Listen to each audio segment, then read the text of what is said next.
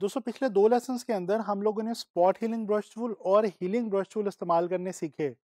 हमने देखा कि हमने इन दोनों टूल्स की मदद से कितनी आसानी के साथ इमेजेस को एडिट किया स्किन को ट्रीट किया और एक इमेज को रिस्टोर भी किया। इस लेसन के अंदर अब हम लोग जिस टूल को इस्तेमाल करने जा रहे हैं, वो इन्हीं दोनों टूल्स के साथ ही अवेलेबल है और बिल्कुल इन्हीं की तरह वर्किंग करता है। इनसे मिलता जुलता टूल है, उसका नाम है पैच टूल दोस्तों पैच टूल भी किसी भी इमेज को एडिट करने के लिए बहुत ज़्यादा कारामद साबित होता है। तो चलें चलते हैं फोटोशॉप की तरफ़ और पैच टूल की मदद से इमेजेस को ट्रीट करना सीखते हैं। दोस्तों, अब मैं आप लोगों को पैच टूल की मदद से फ़ोटो को एडिट करना सिखाने लगा हूँ। अच्छा पिछले दो लेसन्स के अंदर हमने जिन इमेजेस को ट्रीट किया स्पॉट हीलिंग टूल और हीलिंग ब्रश टूल की मदद से, उन्हीं दोनों इमेजेस को अब हम पैच टूल की मदद से ट्रीट करने की कोशिश करेंगे। तो चलें, देखते हैं पैच टूल को किस तरह से इस्तेमाल किया जाता है। दोस्तों, ये देखें, वो जो इमेज पहले हमने ट्रीट किया था स्पॉट हीलिंग ब्रश टूल की मदद से, उसी को मैंने जे पैक बना के यहाँ पे रख लिया है और आपको याद होगा इस फेस के अंदर पहले कुछ स्पॉट्स अवेलेबल थे जो कि हमने स्पॉट हीलिंग ब्रश टूल की मदद से साफ़ कर दिए थे। तो लिहाजा अब हम क्या करेंगे कि हम इसके ऊपर पैच टूल का इस्तेमाल करेंगे। दोस्तों पैच टूल की शॉर्ट की भी जे है जिस तरह से स्पॉट हीलिंग ब्रश टूल और हीलिंग ब्रश टूल की थी, ये इन दोनों टूल्स के नीचे यहाँ पे हमारे पास अवेलेबल है जी पैच टूल अच्छा पैच टूल जैसे कि इसके नाम से वाजे है कि ये एक पैच की सूरत में काम करता है। बेसिकली ये एक जगह से पैच को हम पैच टूल की मदद से सेलेक्ट करते हैं और दूसरी जगह पे जाके उसको हम क्लोन कर देते हैं। देखिएगा ज़रा, जिस तरह फॉर एग्ज़ाम्पल हम इसको जूम करते हैं इमेज को। और यहाँ से कोई एरिया हम सेलेक्ट करते हैं। अब दोस्तों, ये जो एरिया मैंने सेलेक्ट किया है, इस एरिया पे जहाँ पे जाके मैं छोड़ूँगा, वहाँ से पिक्सल्स इस एरिया पे बेसिकली कॉपी हो जाएँगे। यानी कि मैंने इस इमेज को ट्रीट करना है और यहाँ से मिसाल के तौर पे मैं यहाँ पे लेके आया। अब यहाँ के जो पिक्सल्स थे, वो इस वाले एरिया में जो मैंने सिलेक्शन ली थी, इस वाले एरिया में डुप्लिकेट हो गए हैं कॉपी हो गए हैं एक पैच की सूरत में।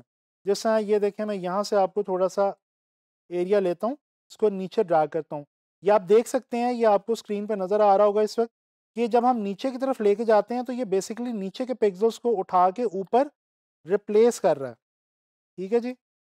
तो इस तरह से हम किसी भी एरिया को क्या कर सकते हैं, ये थोड़ा सा यहाँ से स्किन का हमें प्रॉब्लम आ गया तो हम कोशिश करेंगे कि हम कुछ ऐसे एरिया से सिलेक्ट करें और ऐसे एरिया पे जाके हम उसको रखें कि हमारी जो स्किन है वो डिस्टॉर्ट ना हो।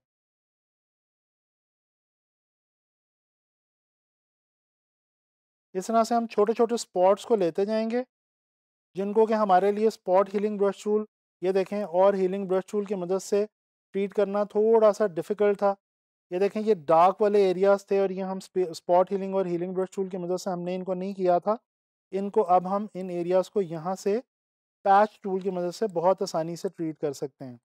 अच्छा एक और बात, आप लोगों ने नोट किया होगा कि स्पॉट हीलिंग ब्रश टूल और हीलिंग ब्रश टूल में मैंने नई लेयर बनाई थी, जबकि इसमें पैच टूल में मैं इसी अपनी ओरिजिनल लेयर के ऊपर ही काम कर रहा हूँ, इसकी क्या वजह है? दोस्तों, इसकी वजह यह है कि हीलिंग ब्रश टूल के अंदर हमारे पास यहाँ पे सैंपल और लेयर्स की ऑप्शन मौजूद नहीं है। इसमें हमारे पास जो एक इंपॉर्टेंट ऑप्शन है, वो यहाँ पे डिफ्यूजन की है, हम डिफ्यूजन जो है वो हम सेलेक्ट कर सकते हैं, ठीक है? और यहाँ से हम सोर्स को क्लिक करके रखेंगे।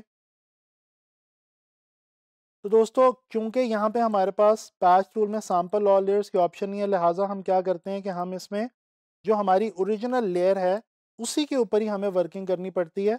हम नई लेयर पे, नई लेयर बना के उसके ऊपर हम वर्किंग नहीं कर सकते। न्यू लेयर पे या ट्रांसपेरेंट लेयर पे पैच टूल जो है वो अप्लाई बेसिकली नहीं होता।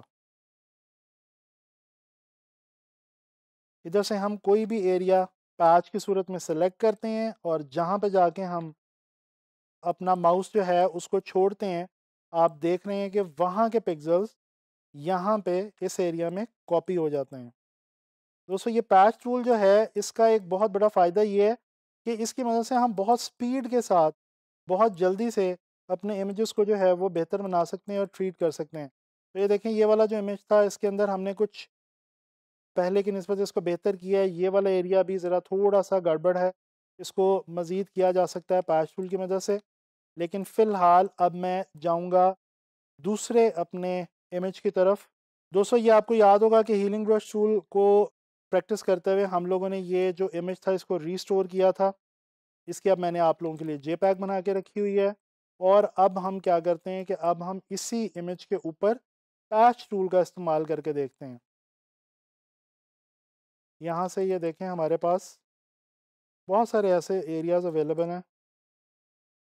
जहाँ पे हम पैच टूल की मदद से बहुत आसानी के साथ अपने पिक्चर को बेहतर बना सकते हैं। अच्छा दोस्तों, एक थोड़ा सा इसमें जो गड़बड़ है जिसका आपको ध्यान रखना है, जैसे ये अभी मुझे प्रॉब्लम आया, ये देखें ये डार्क एंड लाइट इसमें जब हम इकट्ठे सेलेक्ट कर लेते हैं डार्क एरियाज़ और लाइट एरियाज़ तो फिर थोड़ा सा हमें परेशानी का सामना करना पड़ता है। तो लिहाजा आपने ज़रा डार्क्स और लाइट्स का इसमें काफ़ी ज़्यादा ध्यान रखना है, क्योंकि बाज़ू का स्पीड में काम करते हुए हम डार्क एरियाज़ को लाइट एरियाज़ पे और लाइट वाले एरियाज़ को डार्क वाले एरियाज़ पे जाके हम कॉपी कर देते हैं, जो कि हमने नहीं करना, वरना हमारा इमेज जो है, वो थोड़ा सा डिस्टर्ब हो जाएगा जनाब।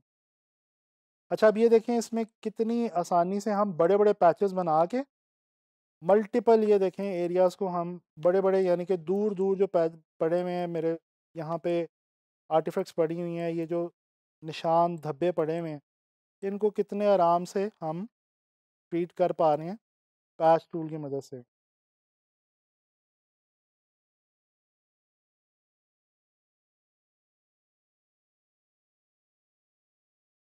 पैच टूल का मैं आपको बता चुका हूँ, जैसे कि आप इस वक्त देख भी सकते हैं, आपको अंदाज़ा भी हो रहा होगा। इसका एक फ़ायदा ये है कि इसकी मदद से काम बहुत स्पीडी हो जाता है। और हम जल्दी से किसी भी एरिया को, बड़े सारे एरिया को पकड़ के, हम पैच टूल की मदद से बहुत ईजीली जो है वो ट्रीट कर सकते हैं। बाज़त ऐसे कुछ एरियाज़ आ जाते हैं, जिनको आप थोड़ा सा आपको डिटेल में वर्किंग करनी पड़ती है। जैसे ये अभी कॉलर के ऊपर लाइट का इशू आ रहा था इनको हम ज़रा थोड़ा सा छोटे पैचेस में जाके देखेंगे। तो ये देखें दोस्तों ये हमारे इमेज थोड़ा सा हिल गया था, इसको हम एडजस्ट कर देते हैं। और ये देखें जी, ये बड़ा सारा पैच पकड़ के कितने आसानी से मैंने रिमूव कर दिया। अब ये देखें ये ये देखें जी। ये देखें ये ब्लैक स्पॉट्स थे। कितनी आसानी से मैंने सिर्फ़ एक क्लिक की मदद से ये देखें, ड्रैग करके ख़त्म। दोस्तों ये देखें, इस इमेज में जो कुछ थोड़ा बहुत पहले की नस्बत प्रॉब्लम रह गई थी अब वो भी नहीं है, अब ये इमेज जो है वो तकरीबन काफ़ी हद तक जो है वो नीट क्लीन हो चुका है। सवाए बस ये एक थोड़ा सा एरिया है। इसके बारे में मैंने आपको बताया था कि आगे हम एक और टूल की मदद से इसको करेंगे।